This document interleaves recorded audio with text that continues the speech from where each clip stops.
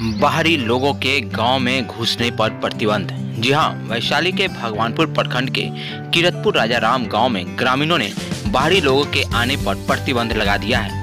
गाँव के सीमा पर लाठी डंडे के साथ ग्रामीण पहरा दे रहे हैं।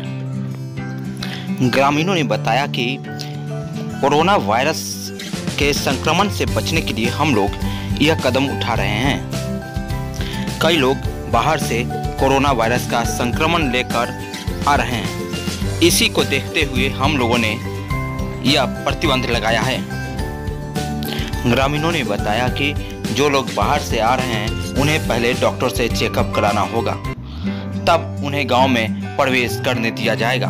अन्यथा उन्हें गाँव में प्रवेश नहीं करने दिया जाएगा।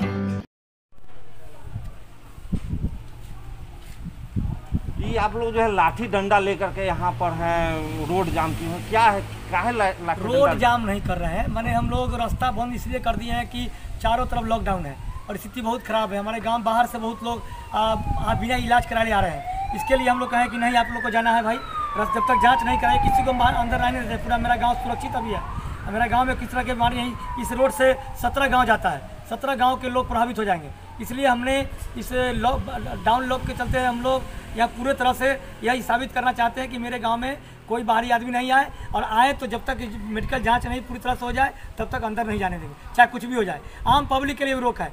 और जो दवा, जो डॉक्टर के यहाँ जाना है, जिनको राशन लाना है, उसके लिए सिर्फ़ हम लोग जाने देते हैं, बाकी लिए नहीं। लाठी डंडा कोई चीज़ नहीं है, हम लोग ऐसी सुरक्षा के लिए हम लोग।